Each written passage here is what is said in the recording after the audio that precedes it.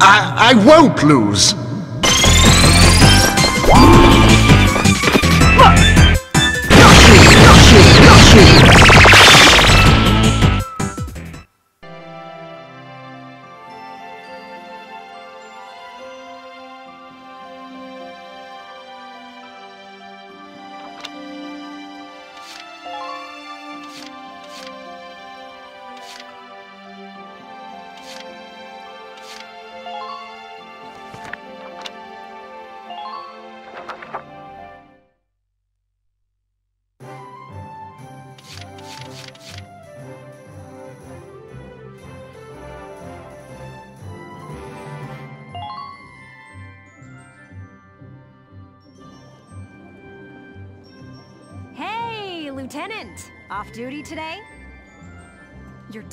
Perfect. There's something I want to show you. Won't take but a minute. Come on. Ta-da! It's the writing on the wall, written and published by yours truly. Hmm? Why do this when I already have a radio news gig, you say? Sure, I could leave it up to the print news guys, but they're all lapdogs. The government censors everything. And not just a little cut here and there. In some cases, they'll bend the harsh truth into candy-sweet propaganda. I'm so sick of it. I want to give my readers the truth. That includes the bad stuff, too. So, this is my brilliant plan. The writing on the wall. Some things are only possible in out-of-the-way spots like this, out of sight from those government goons. I'll keep this space filled with up-to-date, absolutely factual info. No censorship. And your exploits will feature heavily, I'm sure. So yeah, come by and have a read sometime.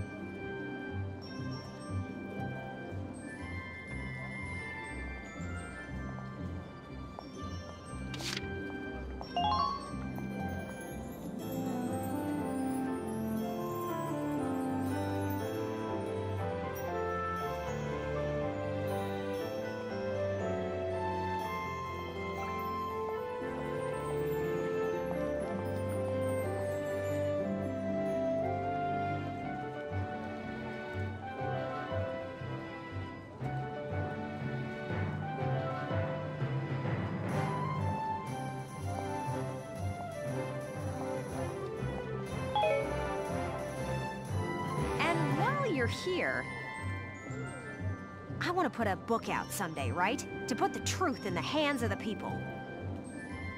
But I'm just a radio news grunt, you know? I'll be paying for everything out of my own pocket.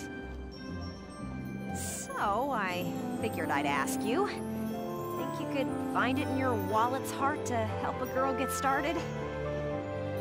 I'd make it worth your while. You guys could feature in the book I write.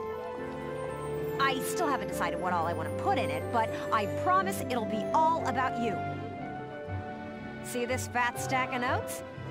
Got a ton of material already. So how about it? Call it an investment in the future rising star of authordom. Please.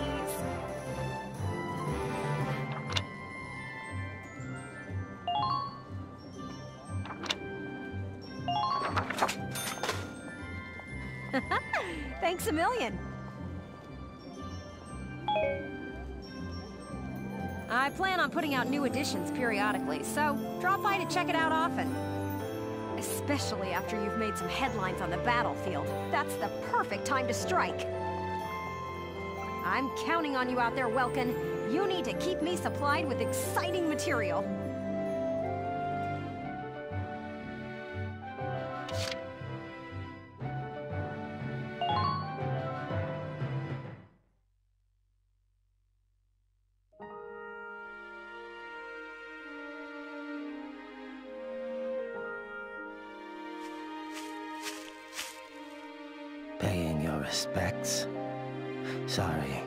I suppose that was a foolish question. Actually, no, sir. I'm not here visiting anyone in particular. Oh. Then might I ask what brings you to a place like this? I find it sobering, standing here in front of all those who died in the last war. That and seeing this much death reminds me that humans are just another part of nature. Don't suppose I've ever heard that before. Judging from your clothes, you're militia. Yes, sir. Lieutenant Welkin Gunther. I'm in charge of Squad 7, Regiment 3. Gunther. I see, I see. Squad leader. Hmm. Very impressive for a young man. Not at all, sir. I'm still woefully inexperienced. One wrong order from me and my squad could wind up here. It's a huge responsibility. You respect the weight of their lives. Here, let me teach you a special order. An order, sir? I'm sorry, who did you say you were? Just a leftover from the last war. I'm afraid my orders require some experience, though. I can't in good faith teach them to those who lack the maturity to use them properly. Now, let's see. I'll teach you Healing Request today. Use it to request a medic to heal a single allied unit's wounds. Well, what is your decision?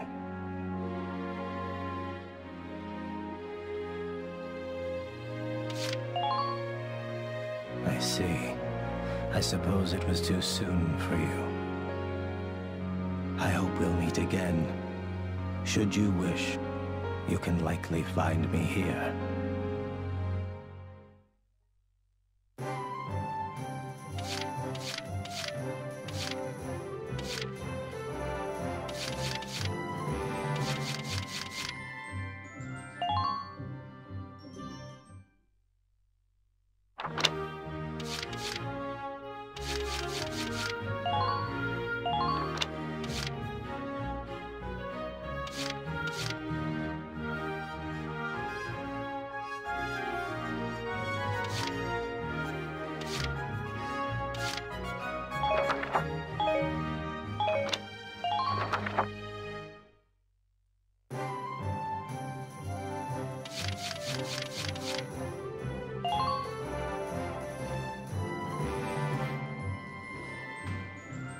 Welkin, bro! I'm stoked you're here, man. What can I do you for?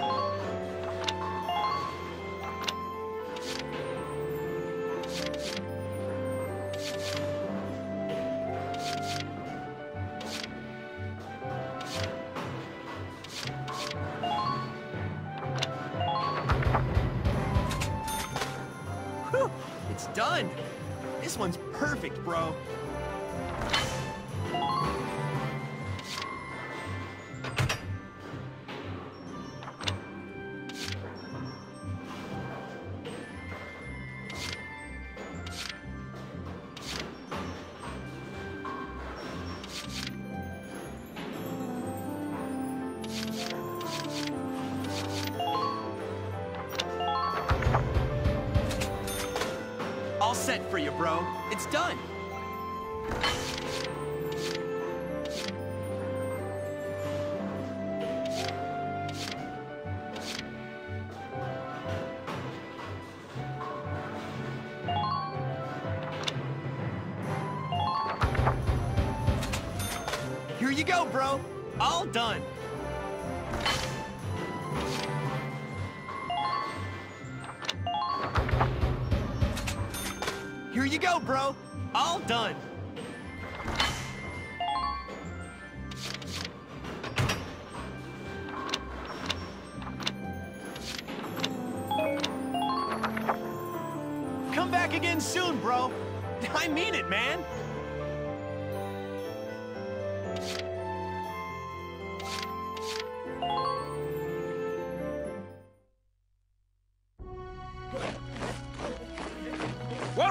Your worst nightmare, maggots! Train all you want. I've got all day.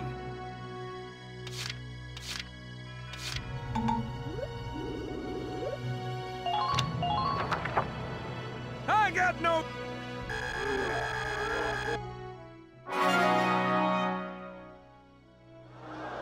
Good work, maggots! Looks like that session beat a new potential out of shock troopers!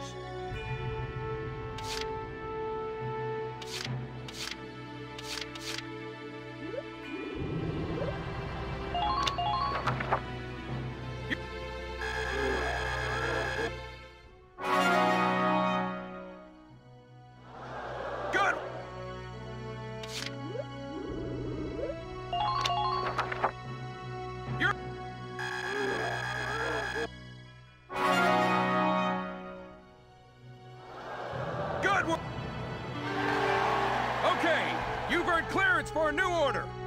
It to good use out there.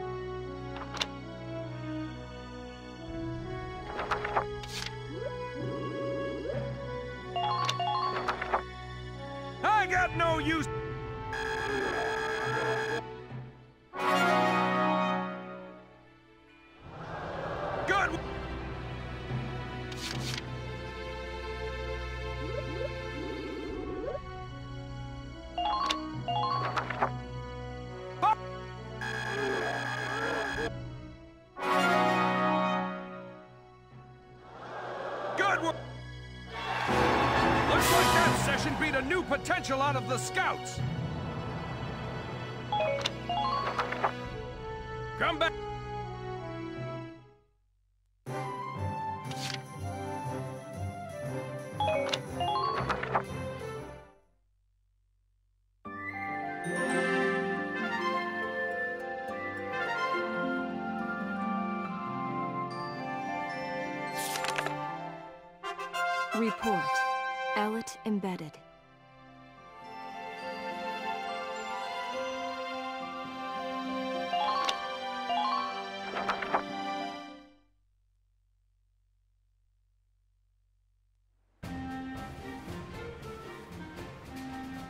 Squad 7 of Regiment 3.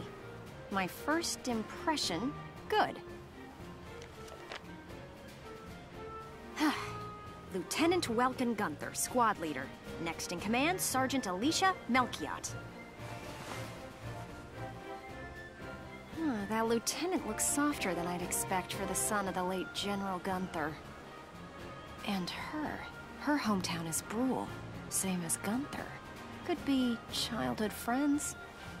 but if I'm lucky, they were childhood sweethearts. We'll just have to find out how close they are. Next on the list, Sergeant Largo Potter and Corporal Bridget Stark. Oh, wait, that's right. Stark had a nickname. Gotta jot that down. Goes by Rosie. Looks like those two don't trust Gunther much yet. That could be good. Could be really good. Who does that leave? Right, the tank pilot, Corporal Isara Gunther. Huh, she's the lieutenant's sister. Now that's strange. She looks Darcsen to me. Wonder how that comes into the picture. you couldn't ask for a more colorful crew than that, could you? Something tells me these guys are different than the usual troop somehow. Hmm. Maybe my keen journalistic instincts? well then, The truth's not gonna uncover itself. Here I come, ready or not.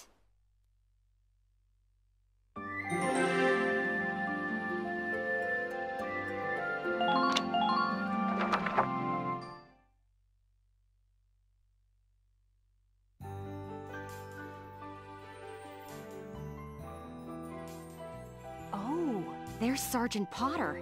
And Corporal Stark with him. Hey! Guys! Mind if I ask a few questions? It'll only take a second. What? Like an interview? What do you want to go interviewing us for? Aw, come on, big guy. I bet we'd make better topics than some rich kid. Wonderful. Let's start with you then, Largo. You fought in the first European War, right? Yeah, I've been a soldier ever since, too. I'm what you'd call a seasoned warrior, see? And why did you choose to stay in the Force? Most people try to avoid the soldiering life. It's an honest living, plus I got my reasons. Besides, I ain't the only one. Look at L. L? Who's L? If I had to guess, I'd say Eleanor Varrot. Captain Varrot, that is. Third Regiment. It seems you've got quite a history with her. Care to fill in some details for us? Th there ain't no details. Is this the trash you want to write about? Look, I'm a busy guy. I'm out of here. Hey, Largo, wait up! Oh, just let him go. We can have a little chat, just the two of us girls. So, Rosie. Can I call you Rosie? Beautiful name, by the way. Do you like flowers? I used to sing at a bar. It was hardly a flower patch, but my nickname there stuck. Tell you what, though. Some customers came from miles away just to hear me sing.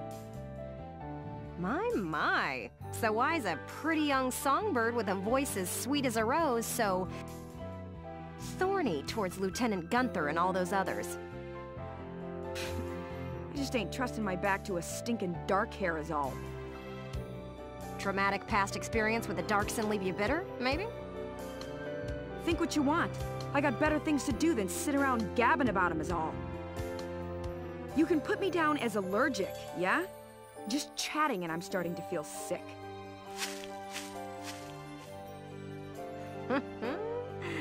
Bet she'd spill the beans if you got her riled up enough. Maybe next time. Still, a veteran carrying a torch for his captain and a Darcsen-hating chanteuse? They may be cranky, but they're characters.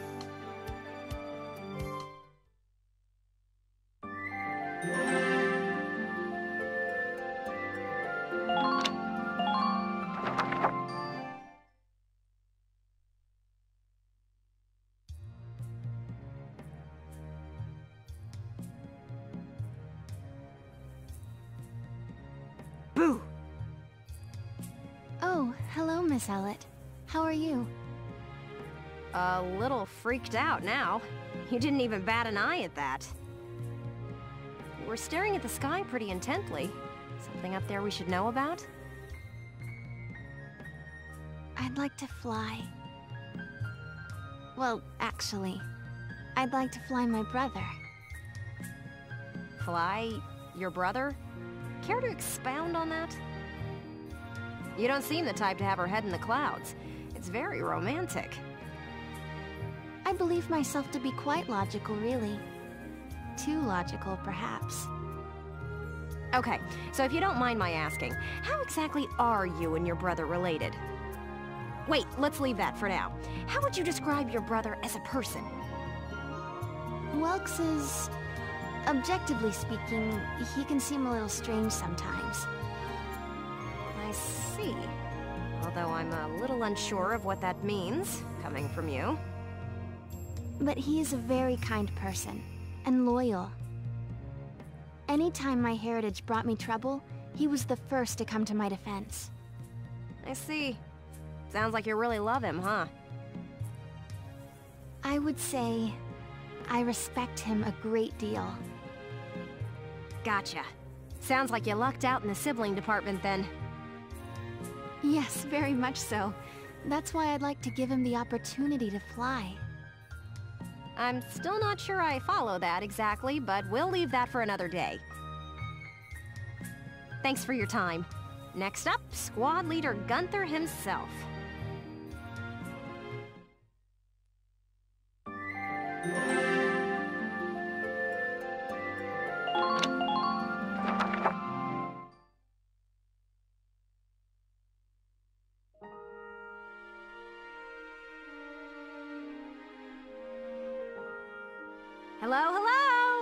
Are you ready for your big interview? Hello, Miss Ellet. Hard at work again, I see. Didn't you already interview him before? Oh, Alicia, I wanted to get in a chat with you today, too. Wait, really? You're going to write an article about me? I can't say whether it'll make the paper, but I do have some questions for you. You've been at Lieutenant Gunther's side since you left Bruhl. Tell me what he's like. Wait a minute. You want to interview me about him? Well, let's see. We only met just a few days ago, but... He's a pretty interesting person. You never know what he's going to say next. I see, I see. So, forget he's your boss for a second. What do you think of him as a guy? What? I've never really thought about it. I don't know. Is that so? Well, Lieutenant Gunther, care to comment in her place? Lieutenant, where'd he go? Huh? Oh, sorry. Uh, there was just this crazy-looking bug. I got distracted. See what I mean? He's an interesting guy, if unpredictable. Kidding. Now, Lieutenant Gunther, I have a couple of questions for you. First up, how do you feel about this war, as the son of a hero from the First European War? Same as anybody else, I guess. I want it to be over. Are people looking at me as the son of a hero? Well, maybe I am, but I'm still just me. Okay then, let's talk about you. What are you fighting for? I feel like the present world is made up of things we've inherited from the past. We get life and a home from our parents, knowledge from our teachers. And not just the good stuff. Take prejudice against Darcsens. That's learned behavior. Uh, Every creature out there is trying to pass things along to future generations. I want to pass on what I think is right. I'm fighting for the ability to do that. Thank you very much. That's all I've got for you today. Great, we're done? I want to get back to that fascinating insect again. Huh. You really hit the nail on the head. He's as entertaining as he is unpredictable. I was planning on moving along to the next squad after interviewing everyone in Squad 7. I think I'll stick around and learn a bit more about you Sevens, if you don't mind. Not at all. Just try to stay out of the combat zones, for your own safety. I'm not making any promises. I go where the scoop takes me. That's just how I roll.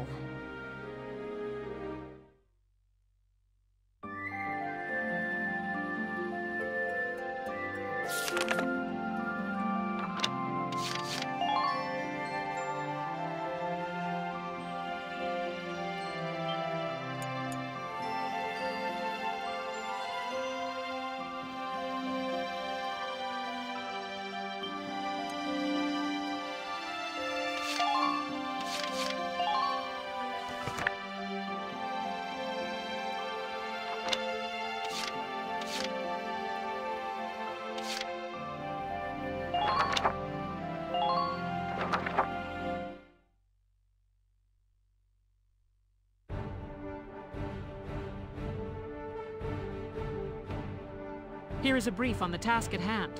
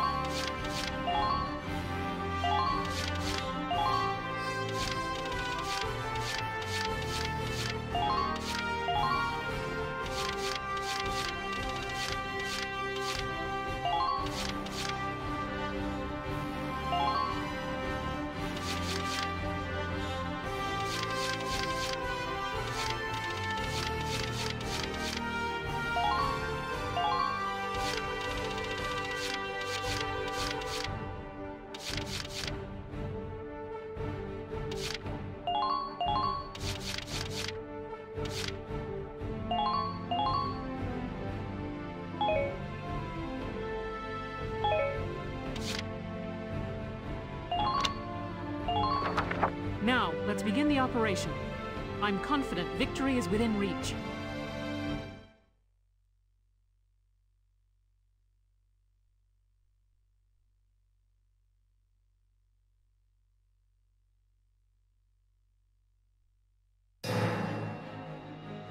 Let's drive these Imperials back out of Gallia! Squad 7, move out!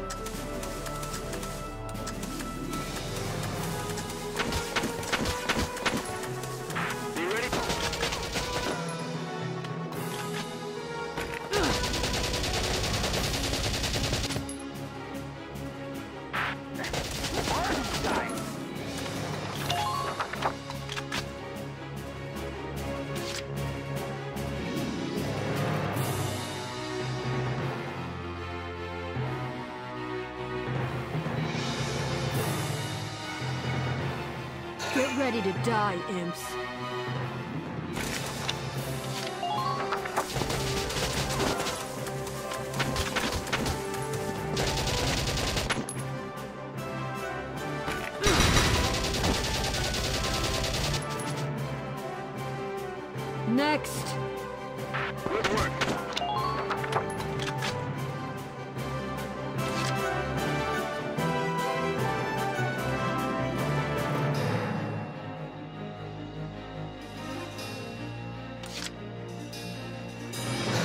Okay?